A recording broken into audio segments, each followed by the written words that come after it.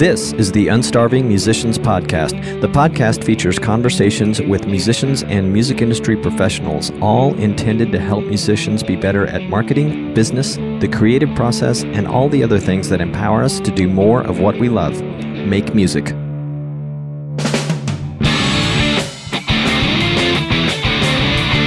Hey, it's your host Robonzo here. Thanks for tuning in. If you're an indie music artist or fan, you're in the right place. Whoever you are, I appreciate you. As a gigging musician and fan of live music, I am committed to sharing my personal expertise with you.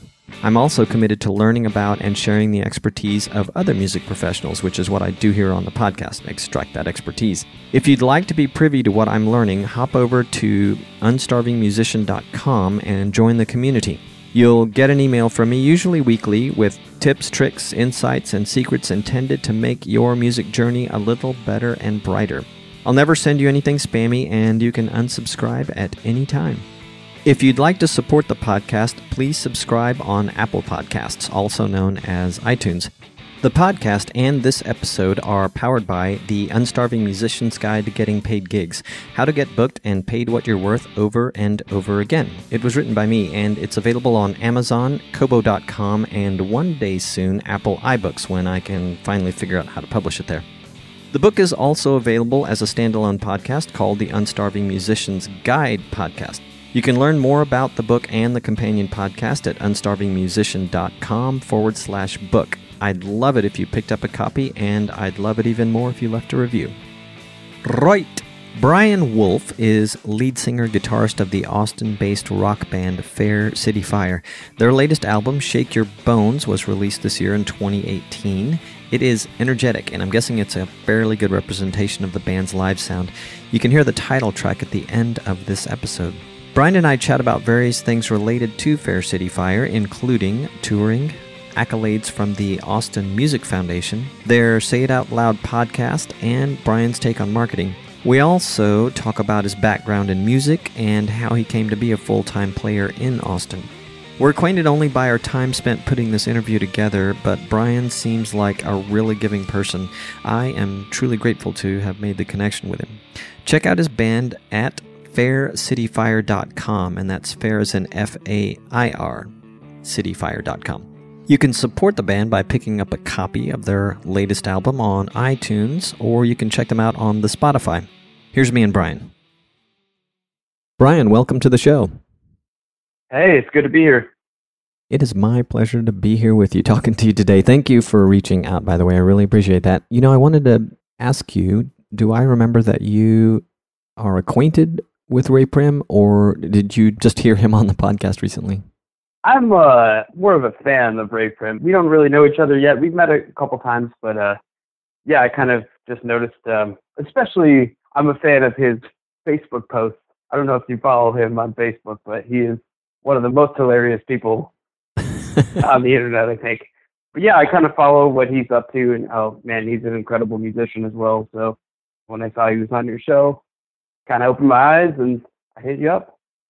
That's really cool. I so appreciate that. And it's funny, I was sent out an email to my list yesterday that starts out with a typo, but I was saying, you know, one of the cool things about the podcast is I meet someone in Nashville, have them on the show, and then I meet three or four more people, often through introductions.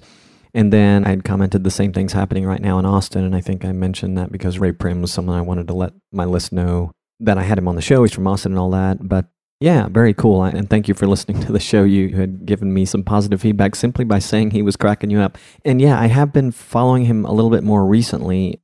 And you may recall when I talked to him, I just was right into you're perceived as a humorous performer, I gathered. But yeah, now that I've connected with him on Facebook after interviewing him, I'm seeing more of the stuff that he posts. And yeah, he's pretty silly. He's pretty silly. yeah, he is.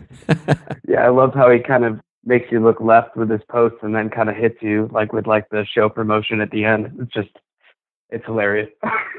yeah, you know, and I'm like, oh man, I got to try that. Try my hand at that brand of promotion. It's pretty funny.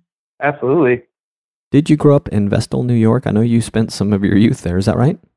Yeah, I went to uh, high school there, and yeah, I mean, pretty much grew up there. It was actually a little town outside of Vestal called Apalachin that didn't have its own like school system. So it was pretty much either you go to one of the two neighboring towns for high school. But um, yeah, that's kind of where I grew up, and you know, I was in garage bands and stuff back then, learning guitar and all that. So pretty cool. When did you play your first paid gig? Do you remember? I do remember. I was about 14 years old. There was this place in Apalachin called the Smokehouse, and that's now called Ransom Steele Tavern. It's this gorgeous venue, but back then it was this like real divey hole in the wall kind of place. Just like a place that you probably wouldn't want 14 year olds running around in, but they hired us to play and a bunch of our friends from school came and they handed us like 200 bucks, which was like mind blowing for a bunch of kids. We're like, oh my God, this is so much money. but, you know, obviously things have changed a bit. But it was like, man, to have that gig was kind of like a, whoa, huh, maybe I can make money doing this. I don't know. but that was kind of an eye opening thing. Yeah, I can imagine. I was kind of laughing because I spent my entire teen years playing parties and some of them in front of my own garage. And it wasn't until I was like probably about 25, 27 and these younger guys had seen me and they were starting a new band and they'd been playing in a local club in Arlington, Texas, where I've lived for a long time. And they asked me if I wanted to play with them. So they sort of took me out into my first big gigs. And then, but yeah, it took me a long time. It's kind of funny. And meanwhile, a few of my high school friends actually went on to play professionally at a pretty young ages, making serious money in fandom. How did you get started with music? What was it that inspired you to start playing guitar or whatever you picked up first? I started like in school, like a lot of people like in church actually singing when I was a kid. And then when it came down time to like for like fifth grade, it was like you had to choose orchestra, band, or art class, and so it was kind of okay, I'll do band, whatever. You know, it's like it's funny those decisions you have to make when you're a little kid. But I guess for most people, it, it might just be a whatever. I did that, but for me, it was kind of like interestingly sort of carving what I would end up doing just from a decision that was like, you have to pick one of these. But I ended up playing trumpet and learning on that and kind of led to doing some jazz band stuff in high school. And in the middle of that, kind of decided that I can't sound like ACDC if I'm playing trumpet. So I picked up a trumpet or picked up a guitar at a garage sale that kind of was like an SG model, like uh, Angus Young always played. And it was like a real cheap knockoff thing, like a Japanese brand I've never heard of and never have heard of since. But um, yeah, it was cool though. It was just like a that looks kind of like the devil horn guitar that Angus Young has, so I'm gonna try that. It was great. I ended up learning on that, getting myself an amp, and we had a little band. We started when uh, we were probably 12 or so, in that range and just kind of making a lot of noise in my parents' basement. And yeah, it was good times, man. Your parents were probably thankful they had a basement for you to make the noise in, as opposed to my mom, who was very gracious about it all. Me playing drums in the garage. We basements weren't a big thing in, in Texas. But so, when did you find yourself in Austin? I graduated college, and my plan was right after college it was actually to just kind of pursue music because I had sort of realized that's what I wanted to do while I was in college because there were just some things I was trying to work out with my life and kind of decided to try songwriting to kind of work through that. And it turned out that like the songs that I was writing, people were starting to react to when I'd play them out. And then I realized that's a really good feeling and I want to chase that. And it seemed like Austin was a cool place to go. I had already had some friends in college that just decided to make that move and they already seemed to be doing pretty well. It was either Austin or Nashville, and I sort of already had friends in Austin, so it was kind of like it took me a couple of years, but I made the move, and in 2012, I've been here ever since. I was going to ask you too, why Austin over Nashville, and is it because you didn't necessarily play country and Nashville's so associated with it? But you answered the question. You had some friends. Yeah. Yeah, I've been kind of curious when I talk to people about who were in Nashville or anchored themselves in Nashville versus Austin. And I think growing up in Texas and not being too far away from Austin, I know it's a huge music town and I've seen a lot of noteworthy artists come out of there. I probably don't haven't learned as much yet about how it is in terms of I suppose nurturing or launching careers in comparison to Nashville, but yeah, what a great town. I think if I was faced with the decision of doing something like that or decided I wanted to do something like that, I would definitely pick Austin myself. yeah, I mean, I think I kind of lucked out there. Realized uh, kind of after I knew I wanted to do some kind of move because you know as great as uh, Binghamton was, I actually pursued trying to like play as much as I could after college, and we were doing pretty well. We were starting to play some of the local festivals and stuff, and we had all like a bunch of momentum. But then I kind of saw the writing on the wall as far as the big picture of where could I really go if I stayed in Binghamton, and it was unfortunate as much as I I say Binghamton, but that's the area that Vestal's in. But um, yeah, I kind of saw the writing on the wall and saw that to me, at least the ceiling was kind of low in a small town like that, or um, a musician with big hopes and aspirations. So I uh, made that move. Smart one, I'm sure. Yeah, kind of realizing that more and more every day. I really love Austin. And I'm sorry, how long have you been there? Did you say? It's been like five and a half years. I've been here. Not too long. No, not too bad. Tell me about the recent gig that Fair City Fire, your band, did at the Linda in Albany, New York. Oh, that's such a cool place. Have you heard of it? I'm not familiar with it. As I was doing a little homework for our conversation today, I saw that gig and it looked like it was kind of a big deal. And the Linda looks like a cool, interesting place with some history. So tell me about it. It's interesting when uh, because we do all, all our own booking and stuff. So it's kind of interesting when tackling booking a place like Albany. You know, there's not a ton of information on the uh, music scene in Albany, and there's also not a lot of fans to talk to that have been through Albany necessarily. This is just one example of a market like that. So it was kind of like, well, let's kind of blanket just hit up a bunch of places and see what lands. And they were really, really cool about getting back to us, and they seemed to really like our stuff. And we get there and with all these sort of like whatever sort of expectations it's a gig, and then we walk in and we looked out. It was it had this like really nice like it was an old bank actually that they converted into a venue and super beautiful place and the green room was actually in the the vault. Oh that's cool. So they they never touched the vault so like the whole like vault door was there and they just opened it and that's where the bands would hang out before their sets. But cool. Pretty awesome. And yeah how did the gig go oh it was great not a lot of people but the cool thing is with that it's attached to WAMC. I hope I got that right. It's a public radio station out of Albany that's associated with NPR, and they actually record all the sets that happen there and play them on Wednesday nights on their station. So it was kind of cool to find out that, like, even though we were playing in this new market where we really didn't know any people, and the audience sort of showed there wasn't a lot of people in this pretty big place, but it was still a nice feeling knowing it's being recorded and played later. So we're still going to have an audience in a way. Yeah. It was pretty nice.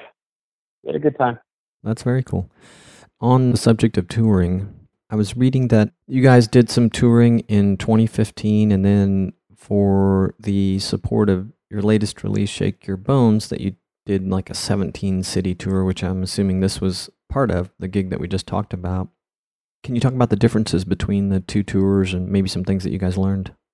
It's crazy a lot that you know that we learned. That first tour was it was born out of an opportunity that we thought we had in my hometown that was like this big festival. I'm not going to name names or anything, but it was kind of like this big thing that we were excited about. And I brought it up to the guys.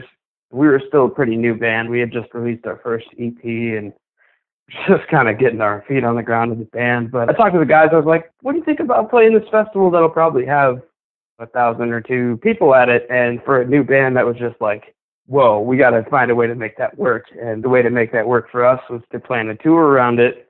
And then it turned into this very big production thing. Where I mean, you know, at the time it was it was like I think seven cities, I believe, and uh, kind of got a taste for it and had no idea. None of us had ever done it before, so we were just kind of just winging it a little bit. Not really doing a lot of homework on like what the venues were and stuff, and we got to learn a lot about what to look for in venues and other bands that we choose to play with. Because a lot of it kind of works out at this level where you book the night and then they say, okay, like you guys can play, but you have to find a couple local bands to play with that's a little tricky at times. Sure. Because you know everybody is trying to make themselves look as good as possible online. You know, it's that's pretty much the game. So it's hard to kind of sometimes decipher who's really uh, doing it. But a lot of times the music itself doesn't lie. It's good stuff. It's they're usually going to have a crowd and stuff. So that's what I found. Yeah, that's probably your best determining criteria, and then I'm sure there's other factors that come into play. But you know, I've heard another artist on the show say that when he embarked on his first tour, he was watching what other bands that were kind of in his genre where they were playing, and he kind of mapped out his wish list of towns to play based on what he saw them doing. And he didn't know these artists, so he was reaching out directly to the venues. Have you guys ever done your homework in that manner? Or I've talked to older guys who are, we were reflecting on a time when he was younger, but has been touring forever and he tours a lot and always has. And now he just doesn't go the great distances he once did. But he said he would always ask the bands that he met, he talked to them about where they were playing, how did they get in touch with so and so, or who was someone that they get in touch with. So he was always working the relationships of the different artists that they would perform with and or build with, and then he'd get what he needed to try and figure out how to get into another venue. But are either of those familiar tactics that you guys use in your band to I know you haven't done a ton of touring yet, but have you done any of that? Have you thought about doing it? Yeah, absolutely. The latter is something that we definitely do as much as possible. And it's the idea of using the connections we've built. It's kind of nice that Austin is such a destination for touring bands because we'll end up getting a lot of fans from all over the place asking us to play sets with them downtown, uh, here. Just like, you know, what I said about playing in random cities and trying to find bands. That's what they're doing, and they're finding us, which is really nice. But that's a good way for us to meet bands that are doing the same thing we're doing, and usually the, a similar genre. So we can get some pretty good insight from just talking to people, which is very valuable, I think. And that's part of what's making us better at doing this is having that available. Yeah, that's cool. Old school marketing still works. Yeah, just talking to people. You're one of the few people I realized A plays in a band as a regular thing. I've talked to a lot of recently anyway, a lot of singer songwriters who are focused on writing and a band situation is not something they're focused on for various reasons depending on the person. But anyway, not only that, but also you guys kind of genreify yourself in part as a rock and roll band. So that's another thing, which is funny because that's what I've always considered myself a rock and pop player as a drummer. So anyway, it's fun to have you on there and share that with you. What are some of the influences? Is everybody sort of in that area of music influence, or are you guys all over the map and it just kind of came together as a rock band? We're super all over the map. It's actually pretty great in that way.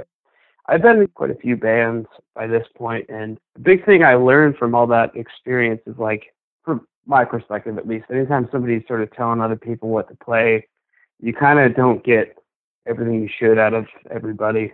And people don't feel the same ownership in the music. It kind of, I think, reflects sometimes on the quality an ideal situation, I think, is like what we have. And not to preach, I'm just talking about my experience. What we have is like this group of people that come from a hugely different background musically. And I think it's kind of created something different. And I think that's kind of nice. And in a way, to kind of get into more specifics, our bass player, Brett, is he's a huge hip hop head. Like that's where he's from. Like just the whole like 90s hip hop is that's what you'll find him listening to most of the time in the van. If he's driving, he can pick. That's what we're listening to. but it's, I mean, it makes a lot of sense if you're thinking about bass and, and cool grooves and stuff. That's like some of the best music for that. So it's pretty cool, and you can hear it in his playing because there's these funk elements to what he's playing, and a lot of the hip hop from that time sampled a lot of that stuff. So, did you know any of the guys before you got to Austin? By the way, not in the band. I met Clint, who is the latest addition to the band, and open mic shortly after I moved here. But the other guys, we were in a cover band for a bit together with a different lead singer, and it was going well and stuff. It was fine. We were playing on Sixth Street, which is kind of like Austin's like touristy sort of spot, and also like college hangout. I don't know if you ever spent much time on like Sixth Street, but at night it's kind of like this like college, just a lot of amateur drinkers hanging out.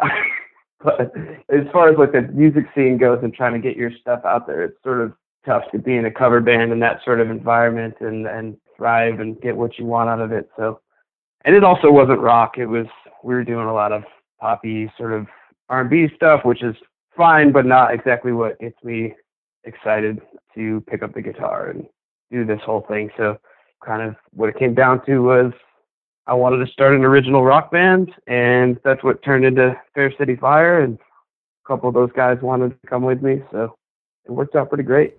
Did you guys form in 2015 or before? It was probably late 2014 or so, something like that.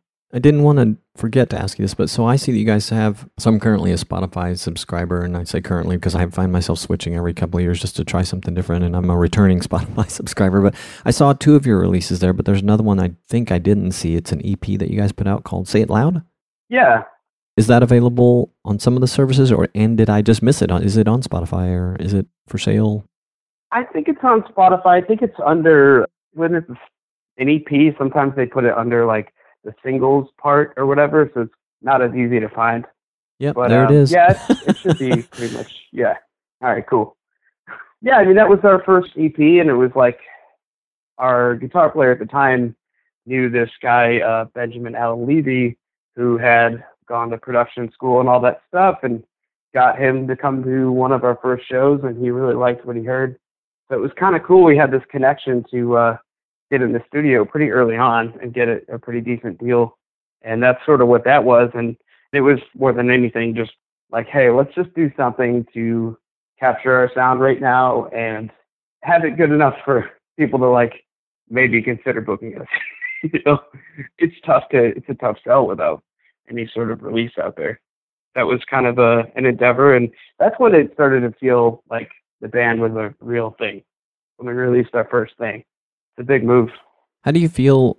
Not so much about the any changes or maybe any quality that you perceive in the band's music since that EP and the latest Shake Your Bones and things in between, but how do you feel about doing full length albums as opposed to EPs, or are you guys still doing kind of some mixture for marketing purposes?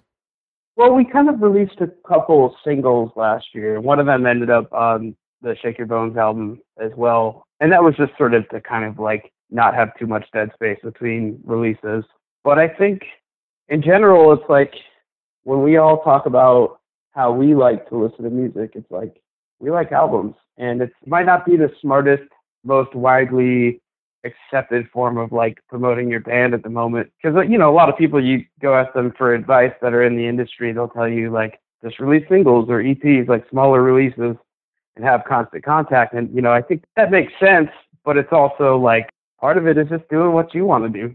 I think a lot of times people sort of forget that sort of stuff and they get into like what's the smart move, what's the safe move in the industry now. And it's tough when you see somebody do that because you want to be a fan, you want to be really into their music, but it's like if they're just doing things to be smart and safe, like, and they're not really injecting their personality and their love into what they're doing in that way, it's kind of like, what is there to latch onto, I guess. So I think that's a big thing we want to do is like do stuff that we want to do. It's a really simple idea, but it makes the most sense to us.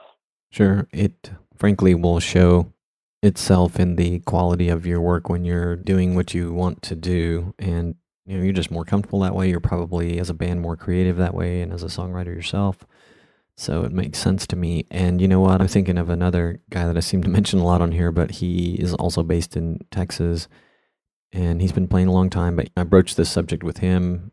He said he's found a combination that's been recommended. So he's still doing albums, but he's got this sort of formula combination of like single EP album, single single. I don't know what it was, but it was interesting. But clearly, he still he likes doing the album thing because he just put one out. So I didn't even know until I was looking. I don't know if I found it on your website or on your Facebook page, but I saw a reference to a podcast called Say It Loud. Is that still going?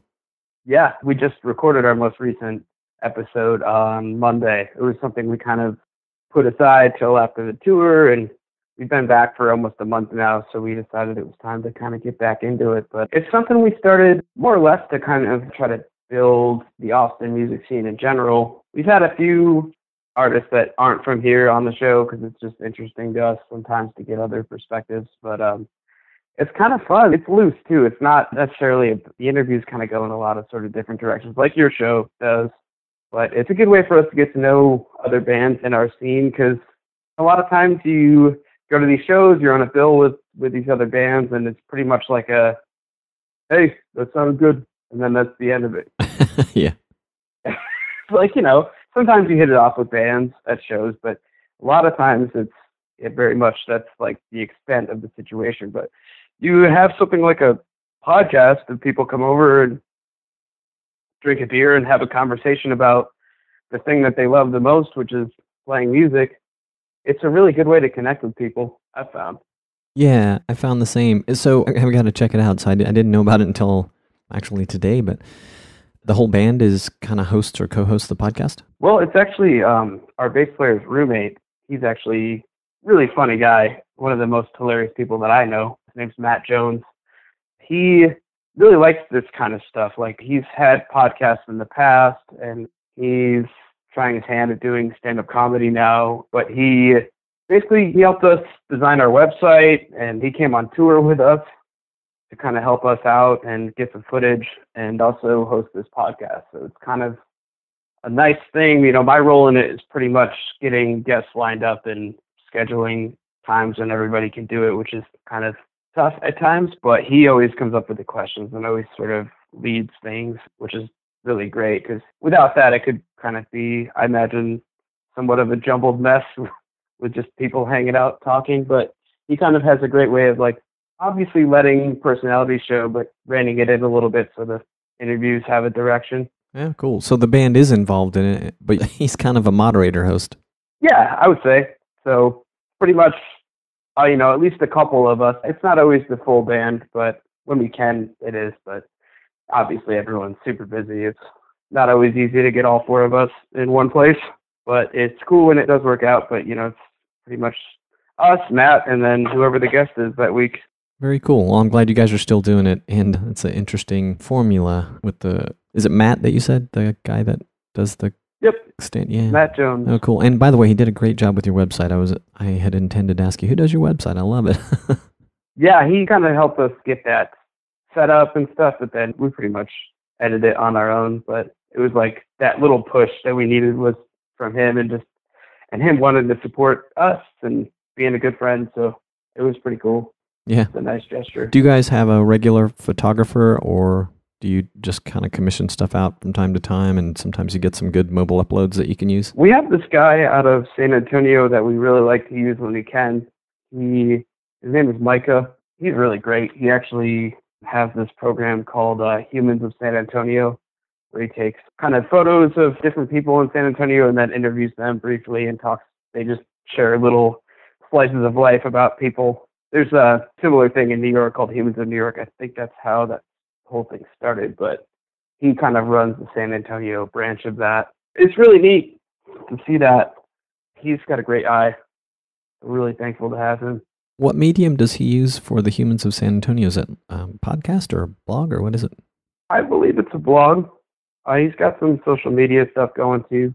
I'll have to check that out. Yeah, I don't know which of the photos I'm looking at on the website are are um his oh wow he's got some amazing stuff but yeah that's cool wow if he did all these great work yeah you guys have great photography and i'm commenting on that more and more when i talk to artists because for me as a podcaster and i know well at least your kind of producer host moderator dude can relate that working with people who have a nice website or some sort of online presence with nice photography makes a huge difference in being able to promote the episode so good job oh yeah absolutely in 2016, you guys got recognized by the Austin Music Foundation. I guess you got Artist of the Month like in August. Do you remember that?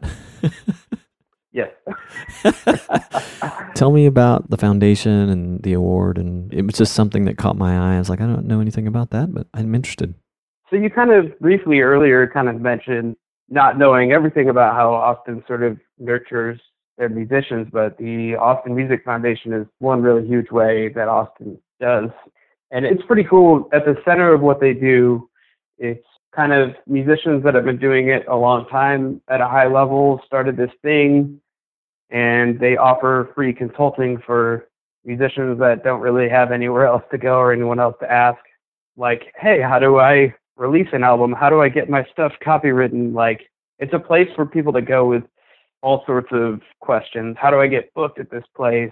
And you can go talk to someone for an hour who is really familiar with the Austin music scene. And for us, it's been a really valuable tool. But other stuff they do is they nominate an artist of the month every month and they do uh, different sorts of events around town. And it's really cool. It's a great resource to have in our city.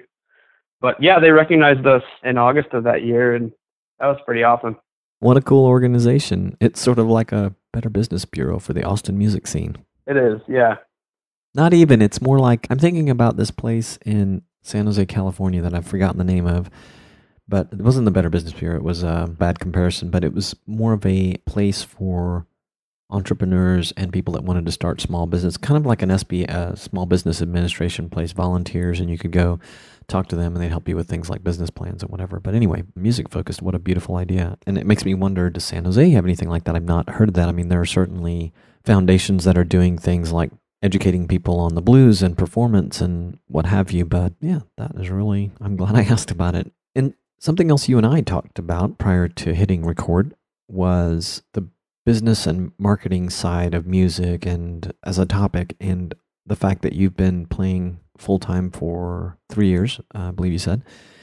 And so, yeah, I did want to ask you about a couple of things. Did I noticed you studied marketing in college? So did that help? And the other one is, what kind of stuff have you learned along the way? Maybe especially things that have helped out in these last three years that you've been doing it full time that you could share with the listeners. Yeah, I mean, I think having the degree in marketing helped in a way. I think in college, I pretty much learned. I feel like it was sort of gearing more towards like getting a job in New York City and like working for a big corporation and doing that sort of marketing, which is different in a lot of ways than what a musician would be doing to promote their stuff. But I think if if anything, it gave me a the, the mentality of like marketing is very important. Yeah. There's like a lot of things on behind the scenes that need to happen to run any sort of small business, and that's kind of been a uh, interesting way to look at what we're doing. Is it really is just a small business? Obviously, it's a little different because we're creating music and stuff, and it's but in a lot of ways, from a business standpoint, it's kind of similar. And you build relationships in a lot of the same ways with business owners, and that's kind of been the big thing that I would say I've learned is like how important that is. Like building these relations with people that you like working with and they like working with you and kind of nurturing those and making sure that you keep those in place. And I think that's super important part of the whole thing of being able to do it full time for a long time is having those in place. So like if we need a gig, there's people I can call to and it's kind of not like cold calling anymore. It's like, no, I've had this relationship with all these places for years now and been able to build a nice little reputation for showing up on time, not being drunk off my ass, you know, that kind of stuff. but the you know, that things. kind of stuff that seems simple, but you consistently do those things and prove that you're not their nightmare as far as booking a musician. You know, if you, if you prove that you're professional and you're consistently good, those are things that go a long way. Yeah, definitely. Are there things that you do to maintain and or improve those types of relationships that maybe other musicians haven't thought of or don't do enough of? Anything that comes to mind? I mean, just being present. You know, obviously, a lot of the relationships I'm talking about are business owners and uh, people that own breweries or bars that you like playing at stuff.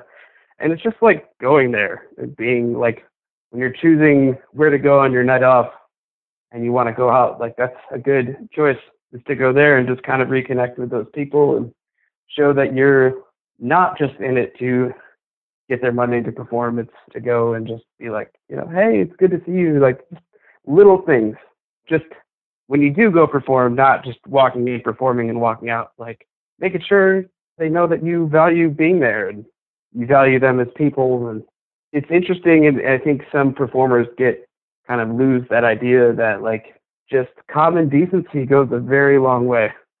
Whether it's the sound guy or the guy booking you, just those little things of just like just making things pleasant that can be the biggest game changer whether you get hired or not again because especially in austin just because you're good that's not necessarily enough. There's a million good players here. Oh my gosh. So, i can't even imagine. there's a lot of other things. Yeah it's great actually.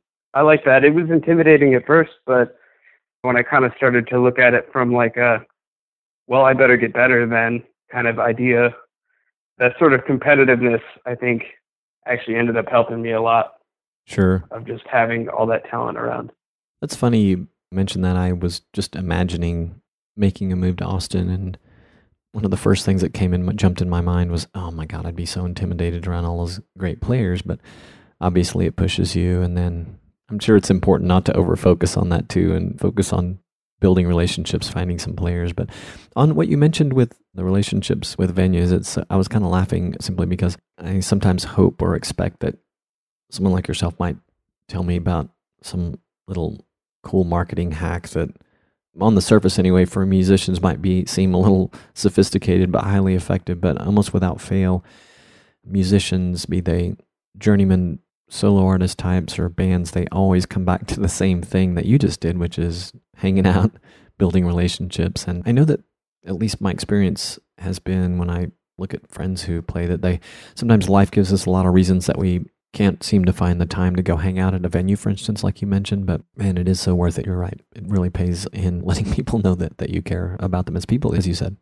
I understand that too. Sometimes things get really busy on our end as well. But, you know, it's like even just that little, if you connect with someone on Facebook that owns a bar that you play at, just send them a message every once in a while. Like, hey, how are things going over there? Like that's really simple. I mean, it takes two seconds of your time, but mm-hmm. those are the kind of things that help. Yeah, I don't think there's like any huge tricks to that.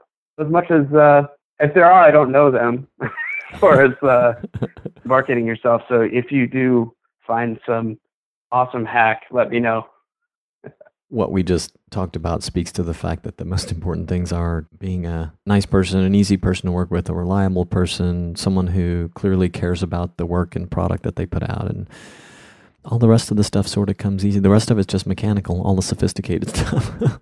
oh, yeah. So that's the other thing, too. There's just a lot of work to be done. And it's not just going and playing, it's, you know, spending a lot of hours. For me, it's like I get my most productive work done if I like leave the house and go to a coffee shop and just sit there and just write emails and do promotions and stuff. Like that stuff is like just as important I think. Just like making sure that you're up on all that and social media I get help from the other guys in the band on that stuff which is nice but that's a big plus. Yeah it's definitely not just me doing all the work which is really great. Yeah I've always advocated why not play with people who have a marketing mindset or at least some of the people in your band? Because when you're doing it all alone it's just a lot it's it's hard. So it's great to have a team. Yeah for sure. Hey man thank you so much for coming on the show. We are going to feature a track from your latest release shake your bones at the end of the episode. I know people are going to enjoy that. Where should people go to find you first online? I would say faircityfire.com is a good place to go. But of course, we're pretty up on like our Facebook pages uh, at Fair City Fire on Facebook and Instagram. And if you want to buy the music, Apple, like iTunes, you can stream it on Spotify, all that stuff. We just want people to get it. So yeah, well, very cool, and love the presence online. Really appreciate you spending time with me today. I look forward to checking out the podcast that you're involved in and checking out more of your recordings, man. So thanks very much. All right, thanks for having me.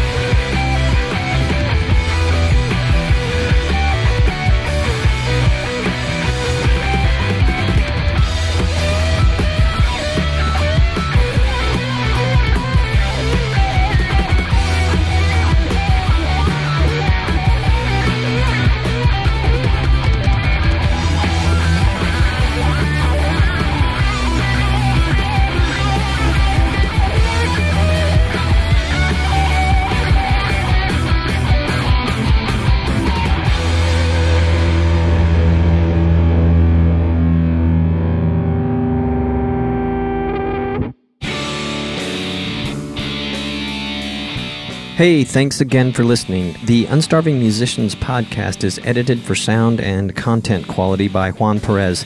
The intro outro track is Alarm Clocks, written and performed by Redwood. That's me on drums.